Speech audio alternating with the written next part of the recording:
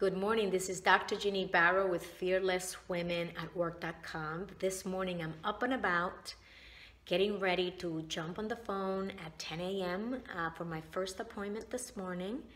And I'm spending the time that I'm not speaking with clients and uh, networking, I'm going to be spending it working on my Fearless Leadership Retreat.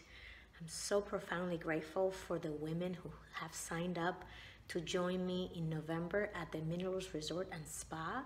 We are going to be up leveling our leadership. We are going to be digging deep, getting down to recognizing, understanding, and leveraging our unique value proposition so we can increase our influence, impact, and well being in our organizations, in our business, in our life. That's what it's about for me is to help the women and the men that I serve on a daily basis to do that. And so I am going to be staying in faith as I did before the retreat was finalized. So about two, three weeks ago, I had very few enrollment because I have noticed over the years that people tend to wait until the last minute to decide to do things. So I could have easily canceled the retreat, right? Because we have deadlines we have to meet, etc. But I instead decided to stay in faith, knowing that the people who were meant to be at this retreat will be signing up, and so they did.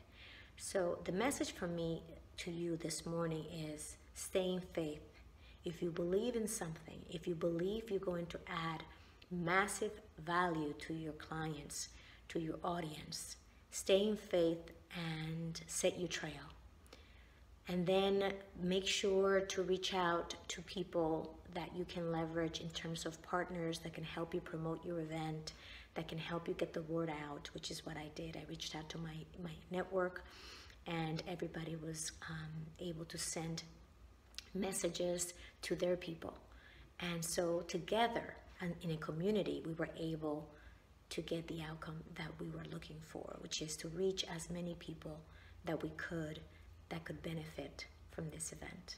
So stay in faith, my friends.